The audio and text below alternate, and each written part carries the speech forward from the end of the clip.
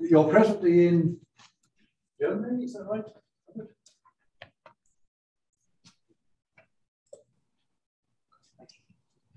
Hello, do you hear me? Uh, we didn't hear you for a while, but now I hear you. Back here, okay. So yes, saying it's a great pleasure to uh, introduce you. Uh, know, from McGill, but you are presently in Germany, is it? No, no, I'm currently at McGill. Oh, oh, okay. I'm leaving on Sunday for Switzerland. Oh, I see. Switzerland. Okay. We were feeling sorry for you, thinking that you were staying up late to do this. But, uh, no, no, it's only one hour time difference. Uh, we can stop feeling sorry for you. Anyway, it's a great pleasure to introduce you and uh, look forward to your talk on emergent cosmology from matrix theory. Great. So thanks a lot for the invitation to speak. And I'm sorry I can't be present in person. Um, so as you know, the inflationary scenario is the current paradigm of early universe cosmology. And inflation is usually analyzed using an effective field theory technique. Uh, excuse me, the volume is rather low. Is this something you can control or I, I should control? Uh, the, the volume uh, is very low. I can hardly Perfect. hear you. It's perfectly fine here. Um, yeah. Hmm. Okay, sorry for the interruption. That seems to be on your end. So from the others, is it okay? Yeah, I, I, we can we can hear you. Yes. Good. Good. So anyway, I'm going to argue in the first half of this talk that effective field theory descriptions of the early universe, in particular, a rapidly expanding universe, faces important conceptual problems. And these are problems which are independent of string theory. These are unitarity problems and inconsistency with the second law of thermodynamics. So I'll try to persuade you that, therefore, we need to look beyond an effective field theory framework if we want to describe the very old universe. So and if I'm successful in persuading you of this, then I'll tell you about an attempt to look beyond an effective field theory description. And this is uh, matrix theory cosmology, where here we start with the Banks, Fischler, uh, Susskind, and Shenker matrix model, which is a proposed non-perturbative superstring, um, proposed non-perturbative model for superstring theory, and we will try to extract cosmology from that. So that's the motivation. So the outline of the talk is first, I will try to convince you that we have problems if we try to describe the early universe cosmology using effective field theory methods. Then I will remind you that there's not just one scenario for early universe cosmology which can reproduce the data that we observe. There are a number of successful early universe models. And then I will show you that there's a way to get fluctuations that explain what we see today of thermal origin. So I will show you the formalism, how to compute density perturbations and gravitational waves starting from thermal initial fluctuations in the context of some emergent cosmology. And then I will present to you this attempt to construct emergent cosmology from matrix theory. And please do interrupt me as I go on. So first topic is the problems of an effective field theory description of the early universe. And here, what I have is a space-time plot of inflationary cosmology. So the vertical axis is time. The horizontal axis is physical spatial extent. And uh, the timeline corresponds to an inflationary cosmology. So there is a Big Bang. Then there's a phase of inflation, exponential expansion of space. And then there's a phase transition to the usual standard Big Bang phase of expansion. So this is a timeline. And here on this graph, I'm showing you various scales. So first of all, I'm showing you the causal horizon, which is the distance that could have been in causal contact from the Big Bang. And during the phase of inflation, when space expands exponentially, the horizon expands exponentially. Now, the solid blue line is a different length scale. It's called the Hubble radius or Hubble horizon. And that is simply the inverse expansion rate. And if space expands exponentially, the expansion rate is constant, and therefore the Hubble horizon is constant. And the third length scale is the physical length associated with structures that we observe today. For example, the structure that corresponds to galaxy clusters or the scale that corresponds to the quadrupolar microwave background and so on. And uh, these are density perturbations with constant co-moving length, and therefore their physical length expands proportional to the scale factor. And so in the phase of inflation, the physical wavelength associated with any scale expands exponentially. So the success of inflation is in part due to the fact that scales that we observe today on very large cosmological scales originate inside the Hubble radius at the beginning of inflation. But 20 years ago, Jerome Martin and myself pointed out that there's a problem with this diagram because there's another length, there's a length scale of a breakdown of effective field theory, which is the Planck length or the string length. And as shown in this diagram, if inflation lasts only a little bit longer than it has to in order to be successful, then all scales that we observe today start out with a wavelength smaller than the Planck length at the beginning of inflation. So they start out in the regime where we can't trust the theory that we use to calculate the fluctuations. So we argued 20 years ago that effective field theory breaks down and that therefore new physics must be taken into account when computing observables from inflation. Now, uh, two and a half years ago, Bedroya and Vafa, after hearing these arguments, they postulated a conjecture based on this analysis. And they postulated that no physical model coming from an ultraviolet complete theory of gravity can have the feature that trans-Planckian modes exit the Hubble radius. So if we describe our space-time using standard Friedmann-Robertson-Walker parameterization, so this is physical time, these are my co-moving coordinates, this is a scale factor, h is the expansion rate, the Hubble radius is the inverse expansion rate, so the trans-Planckian censorship conjecture of Bedroya and Vafa states that if you start at any initial time p sub i with the Planck length, and you expand this Planck length to some later time t sub r, that you have to remain smaller than the Hubble radius at this later time. So what I'm circling with my cursor is the formulation of the trans-Planckian censorship conjecture. So why should we believe such a conjecture? And I'll give you three reasons. The first reason is, um, with apologies to Chris, uh, in analogy with Penrose's cosmic censorship conjecture. So when I say apologies to Chris, this is the uh, Cambridge Oxford uh, debate, and I'm definitely on the Cambridge side, Chris, don't get me wrong. So um, this is a space-time diagram of a black hole with charge smaller than a mass. And there's a singularity in the center of the black hole, but the observer far out is hidden from the bad things that might happen at the center of the black hole by a horizon. Now, general relativity admits solutions with charge greater than the mass. And for those solutions of general relativity, the observer far away from the center of the black hole would not be shielded from the bad stuff that happens at the singularity.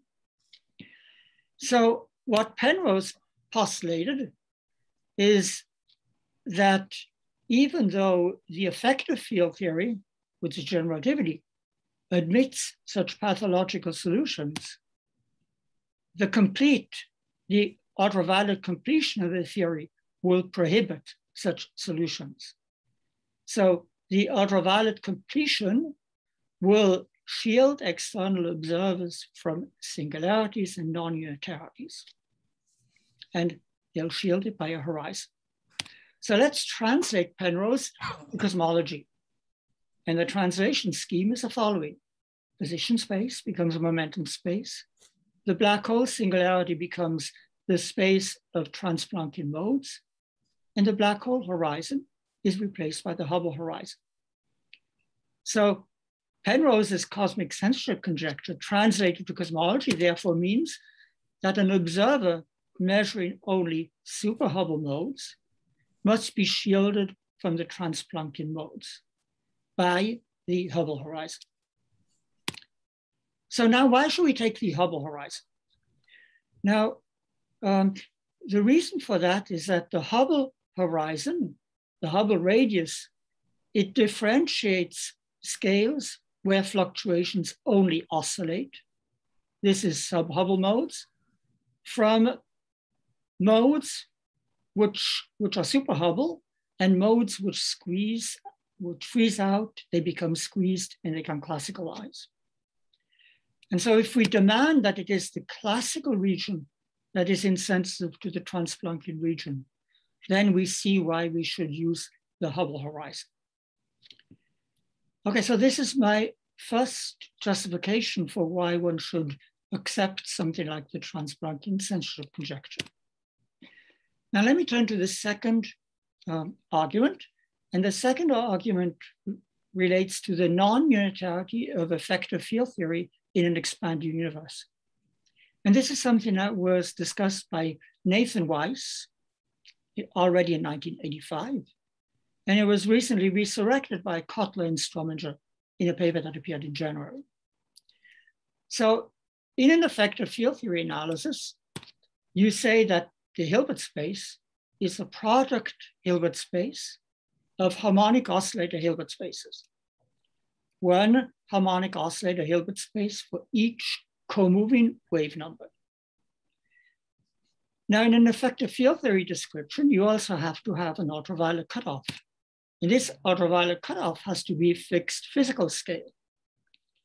Now, to maintain fixed physical scale ultraviolet cutoff in an expanded universe, you have to continuously create modes, and this is non-unitarity. So if we demand that the classical region be insensitive to this non-unitarity, then again, we get the conclusion that a um, good model should not have transplanckian modes ever except the Hubble horizon. So now before turning to the third justification for the transplanckian censorship conjecture, I will discuss the application to inflation. So this is a space-time diagram for inflation that you've already seen. So time, a vertical axis, space, horizontal axis, the curve that I'm tracing out with my cursor now is the Hubble horizon, the Hubble radius. This is the Planck length. This is the beginning of inflation. This is the end of inflation. This is the present time. And the way that I've drawn this space-time diagram is in a way that the transplanckian censorship conjecture is marginally satisfied. So a mode which is Planck length at the beginning of inflation can grow exactly to be equal to the Hubble radius at the end of inflation. So inflation cannot last any longer than I've drawn. So the TCC sets an upper bound on the duration of inflation. However, if inflation is to be phenomenologically successful, then scales that we observe today in the microwave background they have to be sub-Hubble at the beginning of inflation. Otherwise, we lose the causal generation mechanism. And again, I've shown this condition that the current horizon is mapped onto the Hubble radius at the beginning of inflation. I've mapped this as marginally satisfied. So you see that demand in that inflation is phenomenologically successful that sets a lower bound on the duration of inflation. So you have an upper bound on the duration of inflation from the TCC, a lower bound from demanding that inflation is phenomenologically successful. Now, whether these bounds are consistent depends on where this Hubble radius is located relative to the Planck length. The lower the energy scale of inflation, the larger the Hubble radius is during inflation, and the easier it is to satisfy both of these criteria. And so this is how the mathematics works. This is the upper bound on the duration of inflation from the TCC. You demand that the Planck length at the beginning of inflation can grow only to less or equal to the Hubble radius at the end of inflation. And this is a condition that inflation is phenomenologically successful, that the current Hubble radius is mapped back at the beginning of inflation to something which is smaller than the Hubble radius at the beginning of inflation. So you do the mathematics and you find that there's an upper bound on the energy scale of inflation which results, which is approximately this value. So this is many orders of magnitude lower than the energy scale of simple models of inflation. And if you have an inflationary model which satisfies this constraint, then the primordial amplitude of gravitational waves becomes utterly negligible. So the famous tensor to scalar ratio, the amplitude of gravitational waves divided by the amplitude of uh, cosmological perturbations becomes smaller than 10 to the minus 30, which means that secondary tensors become dominant. So you see that this means that uh, standard simple inflation is inconsistent with the TCC. For late time cosmology, it means that dark energy cannot be a bare cosmological constant. Okay, so there are ser serious implications for inflationary cosmology. So now let me turn to the third justification for the Trans-Planckian censorship conjecture. And this is an entanglement entropy argument. So let's consider the entanglement entropy between sub and super Hubble modes. Similarly to how people in black hole physics consider the entanglement between um, um, degrees of freedom which are outside of the horizon with degrees of freedom which are inside of the horizon. Now, if we have a phase of inflationary expansion, then the phase space of super Hubble mode grows, and that leads to an increase in the entanglement entropy. And if we demand that the entanglement entropy at the end of inflation is smaller than the thermal entropy density that we have in a radiation dominated phase. So if we demand that the second law of thermodynamics is satisfied, then we get an upper bound on the duration of inflation. And you essentially get the same bound on the duration of inflation, which follows from the TCC. Okay, now I want to emphasize that um, what I spoke about so far is completely independent of string theory. Now, as you probably know, they also con constraints on inflation from string theory. This is the swampland program. There's a vast landscape of effective field theories.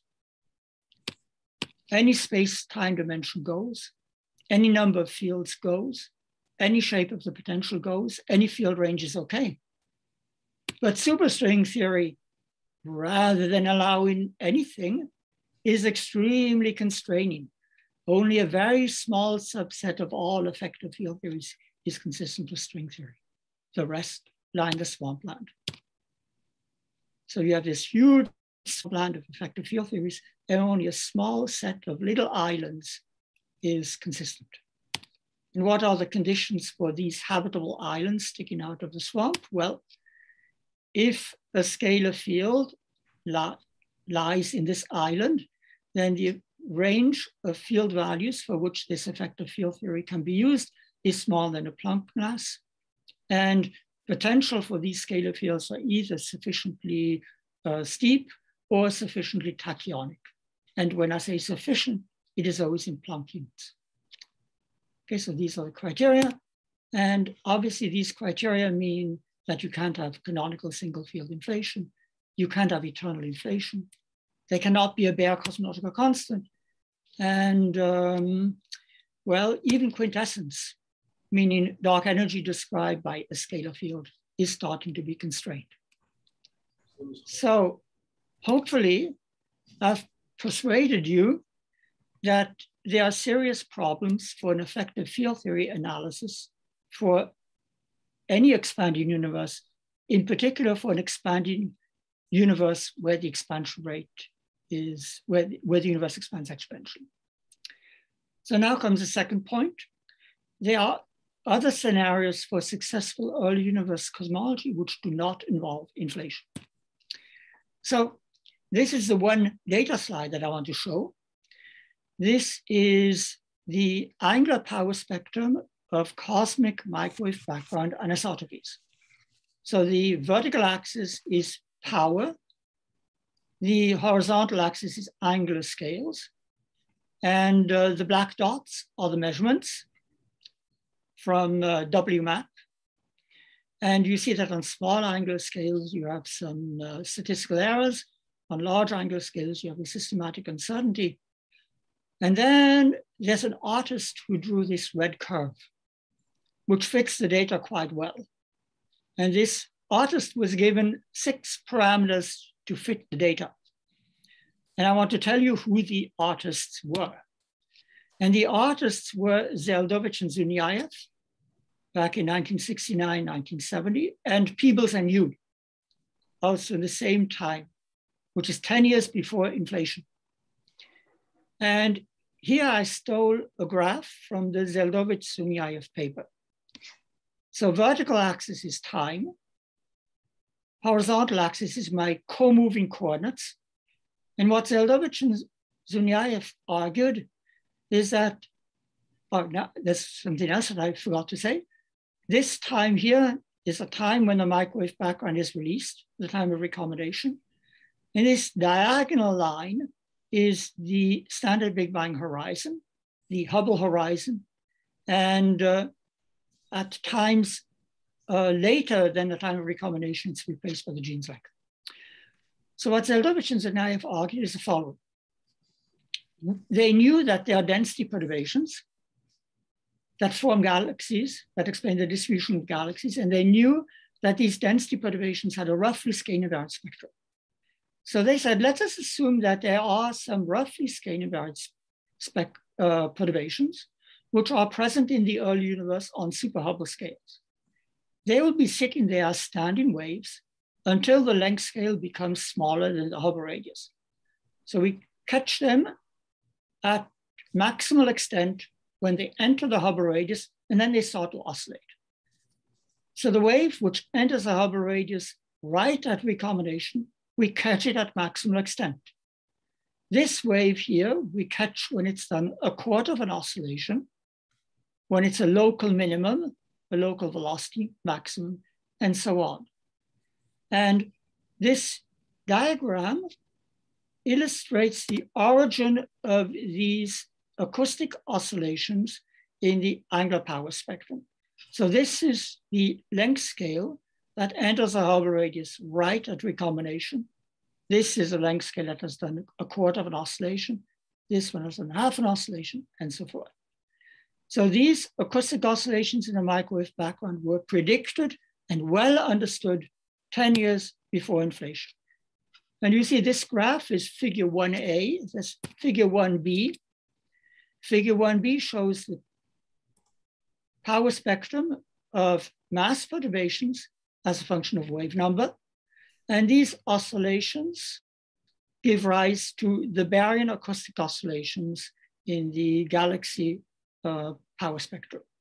So baryon acoustic oscillations, acoustic oscillations in the CMB angular power spectrum were well understood 10 years before inflation. So before telling you about the criteria for successful early universe cosmology, I have to emphasize again the difference between Hubble radius and horizon. So the horizon is the forward light cone of a point on the initial Cauchy surface. It's the the distance which expands exponentially during inflation, it tells you about causal contact. The Hubble radius is a local concept. It differentiates between scales where fluctuations oscillate and scales where fluctuations are frozen in, squeezed, and classicalized.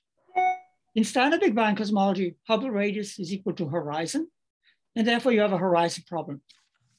So now I can turn to my criteria for a successful all universe cosmology. Criterion one is the horizon has to be much bigger than the Hubble radius in order to explain the overall isotropy of the microwave background. And then if we want to causally produce uh, fluctuations, and when I say causally produce, I mean in a finite time interval, we want to move around matter to produce the fluctuations, then we need the fluctuations to originate inside the Hubble radius at, an, at early times. And finally, if you satisfy the first two criteria, you also have to get a scaling invariant spectrum. So these are three criteria for successful early universe cosmology. And inflation, indeed, is the first scenario which was proposed, which using causal physics can realize all of these three criteria. So this is the space-time diagram that you've already seen twice. Time, space, this is a period of exponential expansion, inflation. And what this does is it inflates the horizon exponentially compared to the Hubble radius. Criterion one satisfied. Scales that we observe today, their wavelengths are exponentially diluted if you go back in time during inflation. They originate sub-Hubble at the beginning of inflation. Criterion two satisfied. And since the energy density is constant during inflation, the local physics is time translation invariant. And that is the origin for the scale invariant spectrum of fluctuations. So inflation indeed is a first model which satisfies all of the three criteria and which produces the angular power spectrum, which I showed you. But it is not the only one. Here's a second scenario. This is a bounce in cosmology. So here we assume that the scale factor as a function of time is as follows. You start in a contracting phase, then there's new physics, which needs a description beyond effective field theory. And you have a direct transition, transition to usual standard Big Bang expansion. So this is the postulate that is made in a bouncing cosmology. And the resulting space-time graph is what I show here. So time, vertical axis, space, my co-moving coordinates, horizontal axis. These diagonal curves are the Hubble radius, Hubble horizon. In the contracting phase, the Hubble horizon is shrinking. In the expanding phase, it's increasing. Time runs from minus infinity to plus infinity, so the horizon is infinite. Criterion one satisfied. You see here from this plot that all scales that we observe today start out sub-Hubble if you go back sufficiently far into the past. Criterion two satisfied. And well, if you take fluctuations that emerge as vacuum fluctuations in the far past, and if they exit the Hubble radius in a matter-dominated phase of contraction, then indeed you get a scaling spectrum of curvature perturbations at the time of the bounce. And you have to accept this last claim that I made. I can convince you of that in the question session. So the third scenario, the one that I will actually be showing an implementation of, is the emergent scenario. And here we assume that there's an early phase. Maybe there's not even a conventional space-time description of this early phase, but I will here model it as a static phase. And then there's a phase transition to the usual radiation phase of standard Big Bang cosmology. So this is a postulate that I'm making for the emergent universe. And the resulting space-time diagram is given by this. So time, vertical axis, space, horizontal axis. Here I drew uh, physical spatial coordinates. Uh, this is the emergent phase, quasi-static. This is a standard Big Bang phase of expansion. the blue curve is the Hubble radius. And if the universe is static, quasi-static, then the Hubble radius is infinite. If the universe is static, then, well, time doesn't make, might not be, even make sense, but there's causality information over the entire space. So criterion one satisfied. And you see here that criterion two is satisfied as well. Fluctuations that we observe today, they start out sub-Hubble at the beginning in the emergent phase. And uh, well, how do we get scale invariant fluctuations from this? I will postpone the answer to that for a little bit. Okay, so um, key point is that there's more than one early universe scenario with which we can explain the data. Good. So now, how do we obtain inflation and how do we obtain a bouncing cosmology? So we usually assume that space-time is described by general relativity and matter is described by a scalar field because we require pressure smaller than minus one third the energy density to get inflation. So we use effective field theory to obtain inflation. So if we want inflation, then we need the potential energy of the scalar field to dominate. Therefore, the scalar field has to be slowly rolling, and therefore the, curve, the slope of the potential has to be very small. And if we want inflation to be an attractor in initial condition space, then the scalar field has to roll over large distances. So we need a very shallow potential, and we need the scalar field to roll over large distances. And you see, this is again um, in, obviously inconsistent with the swampland criteria.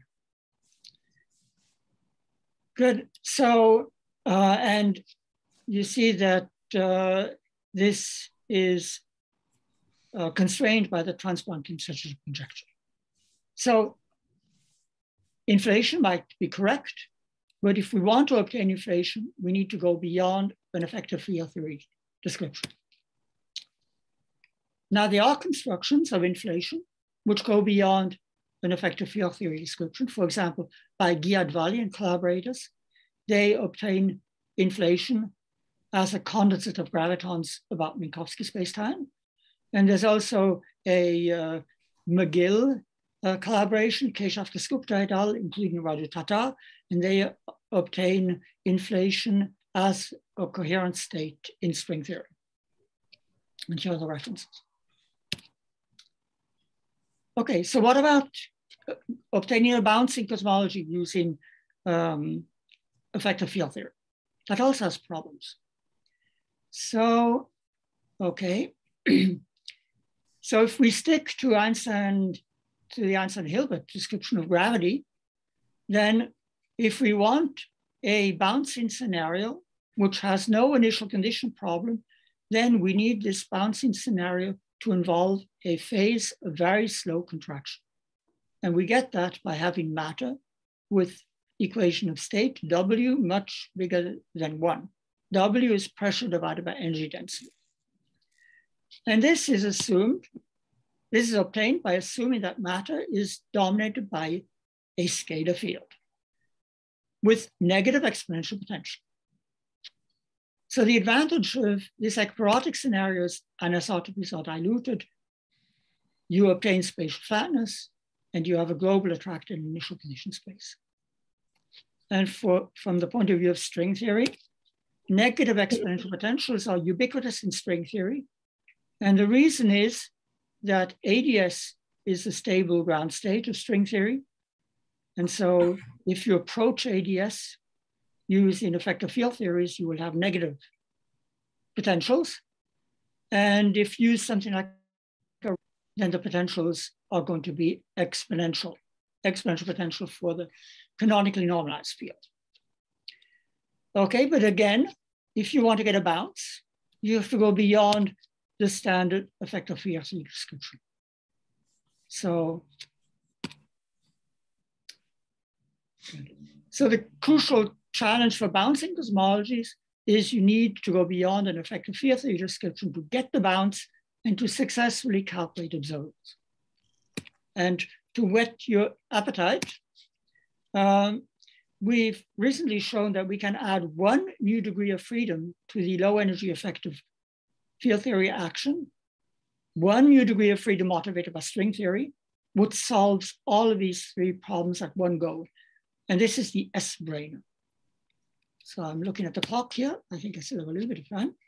Uh, so what we've uh, done is we've uh, used the uh, argument that if the energy density approaches a string scale, then many new string degrees of freedom become low mass, comparable in mass to the other degrees of freedom, and they have to be introduced, included in the low energy effective action. So if we want to write down an effective action, which um, starts with the effective action, which is used to get the contracting phase. So Einstein-Hilbert action, the scalar field that gives this contraction. This effective action breaks down once you hit the string scale. So let's add an extra term, which is present exactly at the time when you hit the string scale. And it is a relativistic object by, given by a certain tension. And this is what I call the S-brane. So now, the S-brane has zero energy density. And since it's a positive tension, it has negative pressure. And so there, therefore, this object has the criteria which allow a transition between contraction and expansion. And if this tension is sufficiently large, and the usual matching conditions for the background uh, give you a successful transition between contraction and expansion. So bottom line is for inflation, you need to go beyond an effective theory description.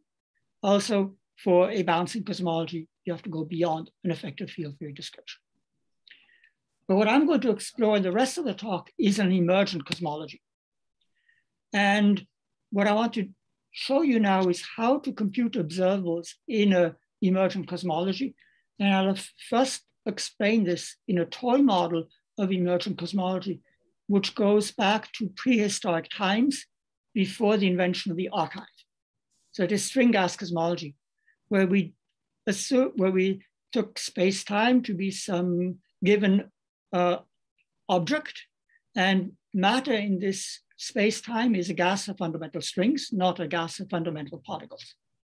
And we wanted to make use of the new degrees of freedom and new symmetries that uh, this starting point has. So if you go from particles to strings, then you have oscillatory modes and winding modes, not just momentum modes. And the oscillatory modes lead to the fact that the gas of closed strings has a maximum temperature. So, and um, the fact that you have winding modes leads to a new symmetry, namely the T-duality symmetry. So the center of mass motion of strings on this compact space of radius r are quantized in units of one over r, but the energy of a momentum modes is quantized in of winding modes is quantized in units of r. So the T-duality symmetry in this simple example is r goes to one over r in string units, N and M are interchanged. The mass spectrum of string states is unchanged. The vertex operators obey the symmetry. And if the symmetry uh, is a symmetry at the non-perturbative level, then you get the existence of D-branes. All of you know this better than I do, but what does that imply for cosmology?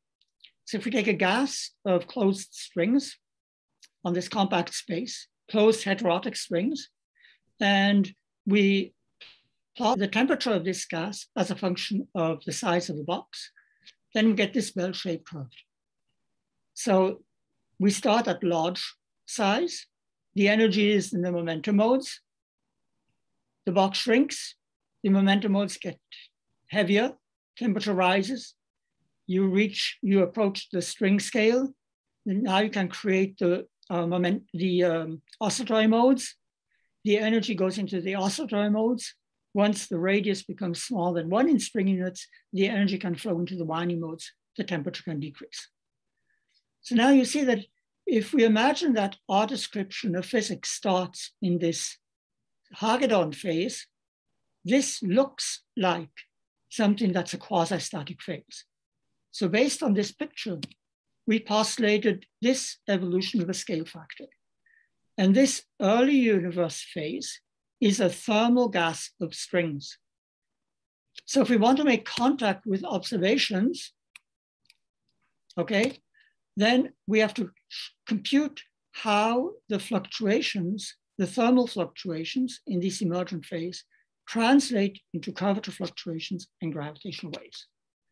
So this is what we are doing in, this is what we uh, managed to uh, calculate in this paper.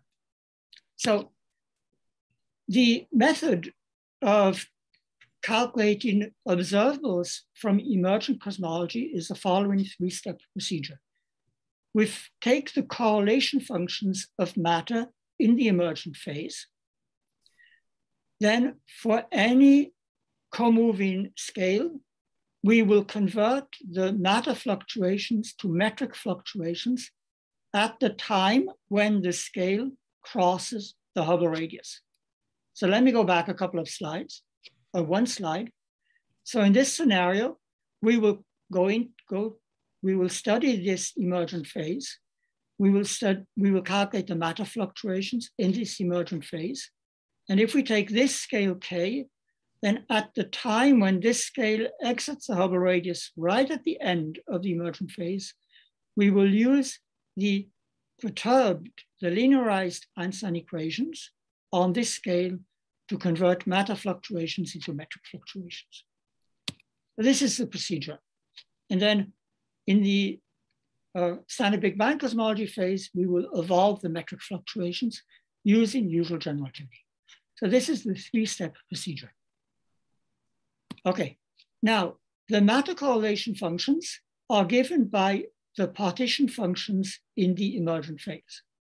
So all we need to compute observables starting from string theory is the string theory partition function. Here in this toy model, the string gas partition function. So we have the string gas partition function. Partial derivatives with respect to temperature give us the density perturbations. Partial derivative with respect to the radius gives us pressure perturbations and gravitational waves.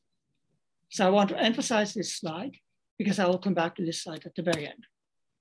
Okay, so here are the equations that we use we want to compute the curvature perturbations and the gravitational waves. So this is a metric of space-time, including curvature perturbations and gravitational waves in a particular gauge. And the linearized Einstein equations for the perturbations tell us that the curvature perturbations are given by the energy density fluctuations. The gravitational waves are given by the off-diagonal Tij perturbations. I didn't write I not equal to J. Good. So we, the energy density fluctuations are given by the specific heat capacity. In string gas cosmology, the specific heat capacity has this holographic scaling because we have winding modes. And if you merge all of these formulas, then you get this final answer for the power spectrum of curvature perturbations. So for any scale k, the power spectrum of curvature perturbations is given by this expression. And you see at first sight, it is independent of k. So the conclusion is that the holographic scaling of thermodynamic quantities in the emergent phase has given us a scale invariant spectrum of cosmological perturbations. Now, if you look a little bit more carefully at this formula, you see there's a temperature that arises. And the temperature that arises in this formula is the temperature when this scale K exits the Hubble radius. And there's a very slight uh, K dependence in this temperature. And this gives us the slight red tilt of the spectrum of cosmological perturbations. Again, like for inflation. Now, if you ask what is the amplitude of a power spectrum, well, we have no free parameters here. We have the Planck scale here. We have the string scale here. The temperature is approximately the Hagedorn temperature, again given by the, by the string scale. So if we look back at the Bible of uh, the of 1980s string theory, the Green, Schwarz, and Witten textbook, they say that uh, string theory phenomenology likes a, a, string scale of about 10 to the 17 GeV. We stick that in, and out we get the right scale for uh, cosmological perturbations. So hopefully I've convinced you that there are other ways to get cosmological fluctuations consistent with observations, not just inflation. We compute gravitational waves. We get, again, a scale invariant spectrum for gravitational waves, but unlike for inflation, here we get a very slight blue tilt. And this comes from the fact that this factor is in the numerator, not the denominator. Okay, so now the problem of this string gas cosmology approach is that we had no microphysics for the emergent phase, no equations for the, this emergent phase. So in an attempt to get a microphysics for the emergent phase, we've now turned to matrix theory. Okay, so I'm in the last section of the talk, the section where I'm least confident of because it's string theory. So I'm sure you can give me lots of hard time here. So let me just tell you what we've done. So we start with the BFSS matrix model, Banks, Fischler, Shenker, Susskind. It is a quantum mechanical model which involves nine n by n Hermitian matrices. We want to take the large n limit. So there's no space. There are no singularities. It's a quantum mechanical model. And this model was proposed as a non-perturbative definition of M theory. So this is a Lagrangian of this matrix model. There are nine matrices X sub i. There's a covariant derivative term, which involves a 10th matrix. And okay, there's a coupling constant here. There's n we look at the 't Hooft limit where g square n is kept constant. It's related to the string scale and string coupling constant this way. And okay, you know this better than I do. So I'll just let you read this slide and I'll move on to the next slide. So what we do now is we consider this matrix model in a high temperature state. And at high temperatures, it is known that the bosonic sector of this model is equivalent to the bosonic sector of the IKKT matrix model. It's a different matrix model. That's a model which, does, which involves neither space nor time. It is a matrix model. It involves 10 matrices, A super B. It is given by this partition function. So see, given a partition function, we can calculate correlation functions. Okay, now these are again Hermitian matrices, so we can diagonalize one of them. We choose to diagonalize a temporal matrix. Now again, so th this is a relationship between the IKKT matrix model and type 2B string theory. Again, you know this connection better than I do. So I'll just leave it here for a couple of seconds and then move on to what we've actually done. So we work in a basis in which A naught is diagonal and the diagonal elements become the emergent time. And in the limit n going to infinity, this is continuous time. So now in, in the model, it has been shown that in the basis in which A naught is diagonal, the A sub i matrices have elements which decay when you go away from the diagonal. So most of the non-vanishing content of the AI matrices is contained in small n by small n blocks about the uh, diagonal. And I will take small n to be proportional to capital N. So in the limit the continuum limit, capital N going to infinity, small n will also go into infinity. So this is a visualization. A naught is diagonal. These are, this is the emergent time. I order them in increasing order of eigenvalues. Then I will consider my small n to be something like co-moving distance. For each i, I will have an independent co-moving distance scale. And I will, for each of these uh, co-moving distances, small n, I can consider these small n by small n matrices, and I can compute the extent of space, which is defined in terms of the trace of these small n by small n matrices. So here we have the physical extent of space in the ith direction.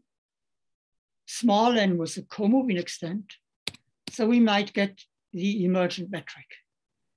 But this is double question mark because we haven't really explored this yet. Because all we really knew, use for calculations is the partition function. So the Minkowski eta mu nu symbol is contained in the, in the matrix model. And so therefore local Lorentz invariance will emerge in the continuum limit. Okay. Good. So now what's also been shown using uh, Gaussian approximation techniques, sorry, Gaussian expansion techniques and numerical simulations is that only three of these spatial extent parameters become large as a function of the emergent time. So let me go back to this plot. So my emergent time is increasing as I go down the diagonal. I will now look at these n by n blocks as I go down the diagonal. So this gives me the time evolution of space. And of these nine dimensions of space, three become large, six remain small. This is very interesting, especially coming from string gas cosmology, because exactly the same, the same thing happens in string gas cosmology. And in string gas cosmology, we have a nice physical argument for explaining why only three dimensions become large. I'm very interested in connecting the physical picture in string gas cosmology to what is observed mathematically but without great physical insight in these matrix theory computations. Okay, so we will now focus on these three large spatial dimensions and we will go on and compute observables. But to compute observables, we go back and we consider the BFSS matrix model. And we assume, and here I write in red, assume, because we haven't shown it yet rigorously, that the spontaneous symmetry breaking that is observed in the IKKT model also holds in the BFSS model. So we assume that also in the BFSS model, only three of the nine emergent spatial dimensions become large. We think that this will work, but we are not yet sure. So take this as an assumption. So now given the assumption, what should be clear that we have all the ingredients ready to compute cosmological observations. Since we have the partition function, we can compute thermal correlation functions, and therefore you can compute the curvature fluctuations and the gravitational waves. And this is what we've done in this paper with Shudo Brahma, who's now in Edinburgh, and with my excellent student, Samuel Laliberté. So again, we take the BFSS model at finite temperature. We take the finite temperature partition function. We take the partial derivative with respect to temperature. That gives us the density perturbations. Then we take the derivative with respect to the emergent spatial radii r sub i, and that gives us the pressure fluctuations and the gravitational waves. Okay, so finite temperature partition function, energy function. The energy function takes this form. Uh, now, using we apply the Matsubara frequency expansion and we can evaluate this energy function in power series expansion as a function of beta, high temperature, small beta. And so the dominant term is the term that comes from the zero modes, and the subdominant term comes from the interactions and the kinetic term. And what we find is that the zero terms, they give rise to a term in the energy function which is independent of space. And the subdominant terms depend on space, as you see here in, my, in the last line. The last line is blocked for me, but I hope it's not blocked for you. And uh, from this, uh, you take the derivative with respect to temperature, and then you basic, and then from that you compute the density perturbations. And what you find is that this term here gives a Poisson spectrum of density perturbations, something that falls off at large scales. And this term gives us a scaling invariant spectrum of uh, cosmological perturbations. So the, uh, this is what I just said. So the, the term, it's the second term that dominates the infrared. The second term gives us a scale invariant spectrum of curvature perturbations.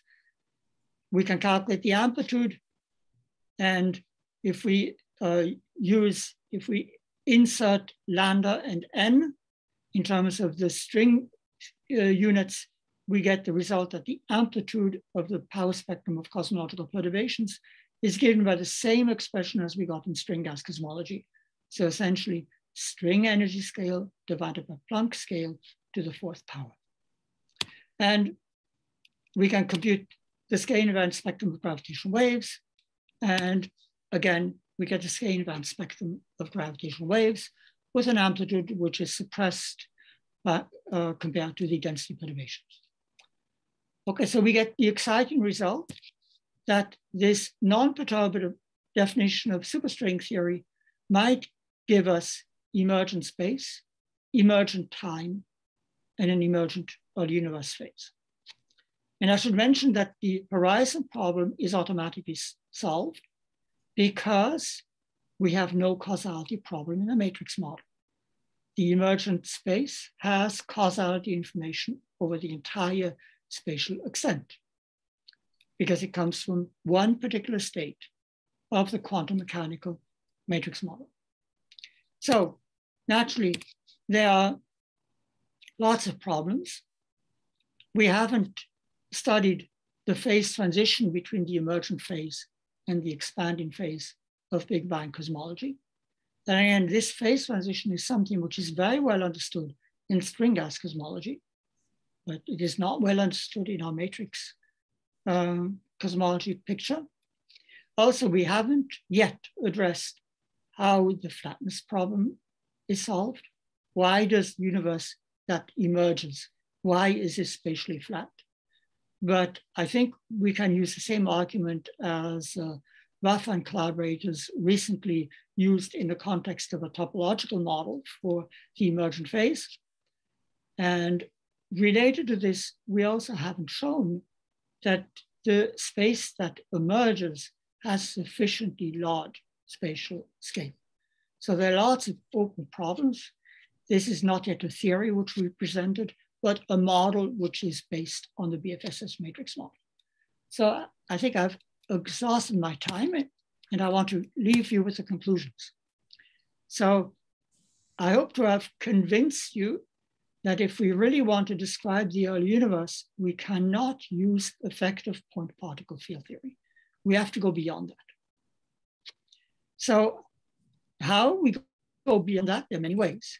And I've explored one particular way of going beyond this. And this is starting from the BFSS matrix model which is a proposed non-perturbative definition of superstring theory, then so uh, we've taken this as a starting point. We considered a high temperature state of this matrix model. And we've argued that in this context, we get emergent time and emergent space. And in this context, we've taken this high temperature state, we've computed the thermal fluctuations that result, and we've shown that we get a scale invariant spectrum of cosmological perturbations and a scale invariant spectrum of gravitational waves. So thanks for listening.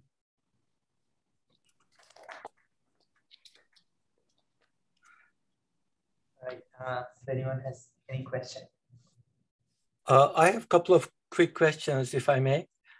Uh, Robert, uh, one question I have has to do with the uh, relationship between uh, matrix model you talked about and 11-dimensional supermembrane. I mean, 11-dimensional supermembrane is notoriously difficult to quantize system, but there were attempts in the old days to discretize the world volume and then uh, convert the uh, supermembrane action into something like the model you, you've written down, uh, you talked about. Uh, are you familiar with the relationship? No, actually, I, have heard that there is such a relationship, but I, and I know that quantizing membranes is very hard. Mm -hmm. So, mm -hmm. but this, what I'm showing here is what I'm more familiar with, with a way of of uh, getting out the BFSS.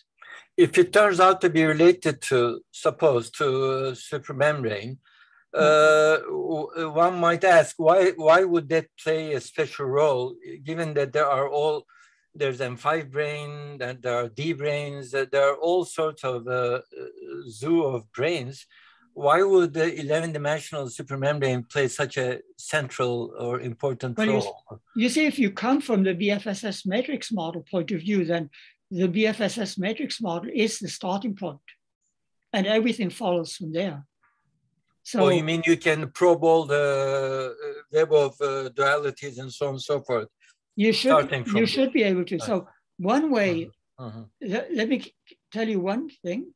So um, you can see the strings emerging from this matrix model in the following way. You localize, um, you, you take um, the matrices, the spatial matrices, and you take a spatial matrix which is uh, concentrated at the diagonal on one part of the diagonal. And that will give you something that's a little bit like one string. And then if you look at another uh, matrix, which, uh, which again is concentrated on the diagonal, but it has one clump of non-vanishing components, let's say towards the top, one closer to the bottom, then that matrix will describe you two strings. So, mm-hmm. so, the, so, so this, this is the way that I would visualize things. But again, my apologies, I'm not a string theorist. And what I just said may be completely wrong. You are more an expert than me. well, these and are Chris tough questions for anyone, probably. But uh, just a quick follow-up question. Uh, what about the um, uh, tensionless limit of string theory? Does that uh, enter anywhere, this picture, where you probably know that there are conjectures about massless higher spins showing up? If the tension goes to zero. Uh, this question is motivated by the fact that you mentioned there are a large number of towers of light string states. That kind of mm -hmm. motivates me to ask this question. Yeah. Okay. Now, see, when I said light, I don't mean zero mass, but I mean comparable in mass to the degrees of freedom that you started out with. Mm -hmm. So for me, these states are not are not becoming massless. Mm -hmm.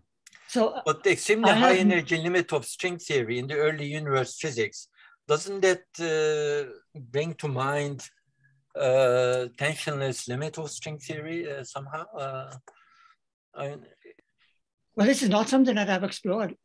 I see. To, to me, to me, the the strings always have tension.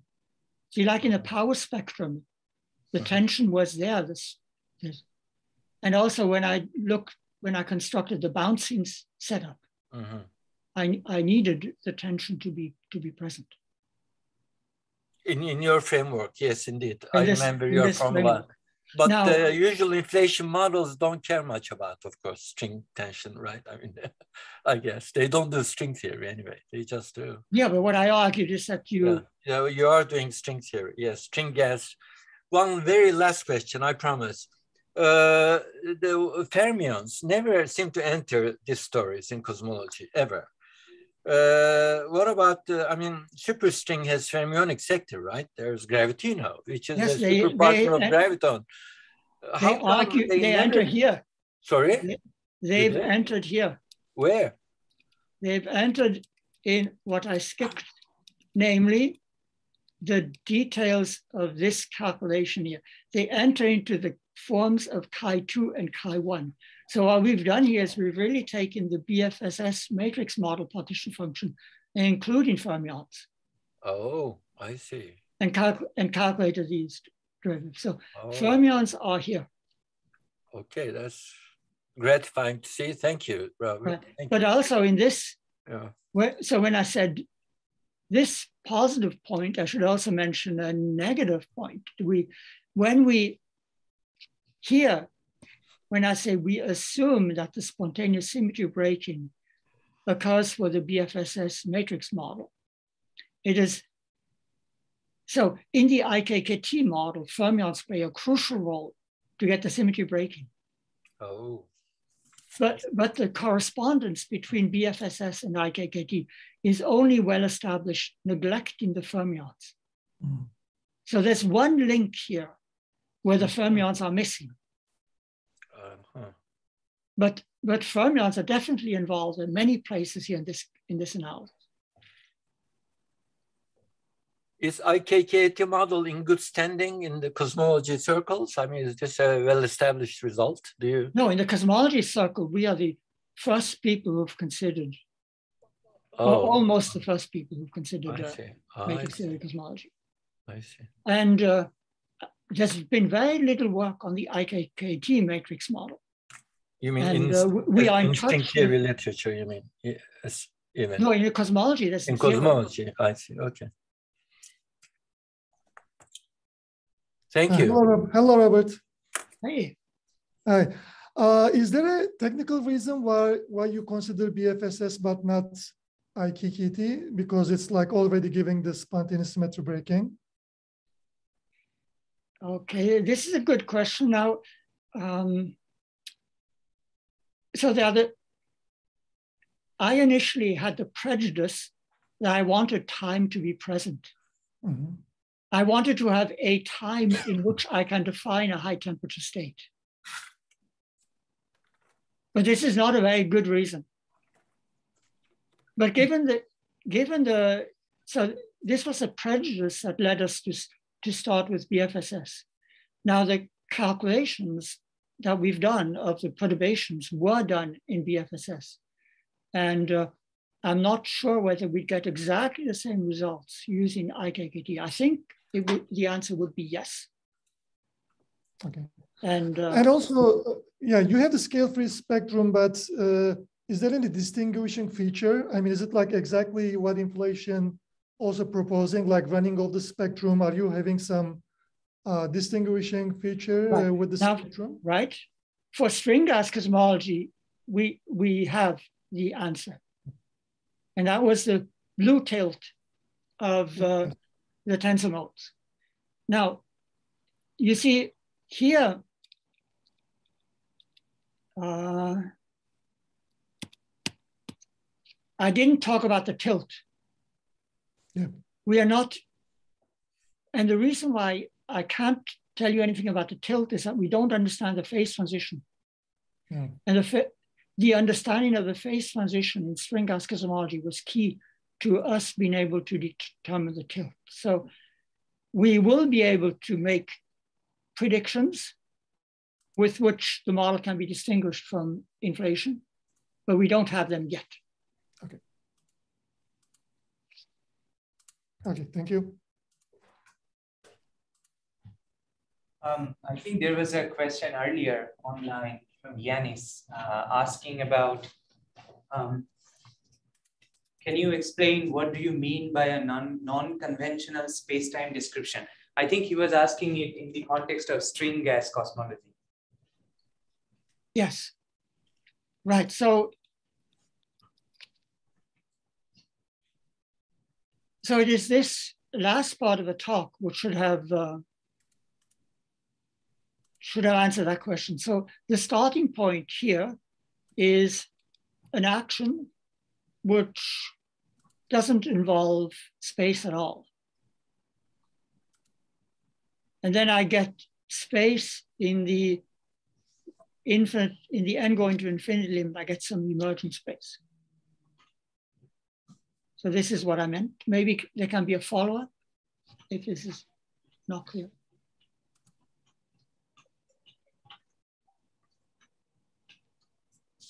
But I see there's a hand up. Uh, thank you, Robert. May, may yeah, I ask you, sorry, may, may, I ask something? Um, the question, Robert, is the following. Can you repeat me how, where is that happens that uh, six dimensions get small and three gets large? See, three of them get large. Right, so it's actually not that six gets small, but we start with nine small ones. We have SO9 symmetry, and then we evolve into a state where you only where you have SO3 cross SO6 symmetry, and uh, the symmetry breaking is three uh, dimensions becoming large. Good, now, good. in string gas cosmology, there's a very nice physical argument for this.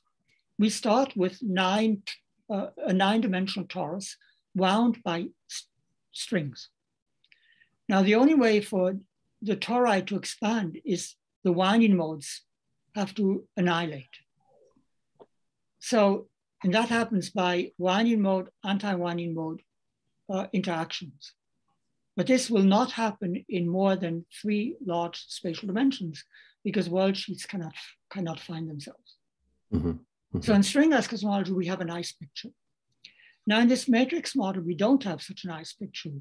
We have um, numerical simulations and uh, Gaussian um, expansion techniques.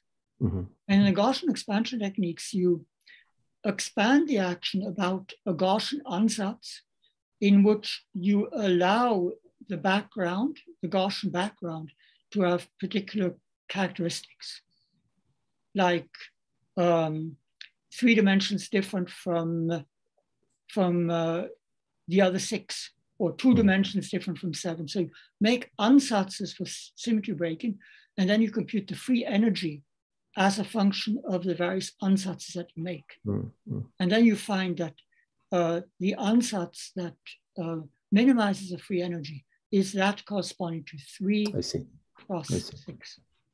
I see. As, as a comment, Robert, uh, there is a matrix model called the BMN matrix model that is basically a mass deformation of, of BFSS yes. and has precisely that, that characteristic that you mentioned, has SO6 times SO3 uh, global symmetries, right? So distinguishes three matrices right. from other six. Um, and it's a, it's a very simple mass deformation of the one you consider. Okay. Yes, that's on our list of things to do. Good, good, good. All right. Thank you very much. See, it takes us a long time to do this yeah, because yeah, we are not string theorists. Yeah, of course. Thank you very much.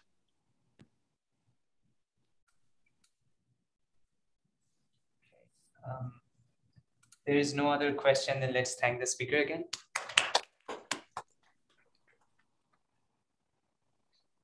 Thank you for listening.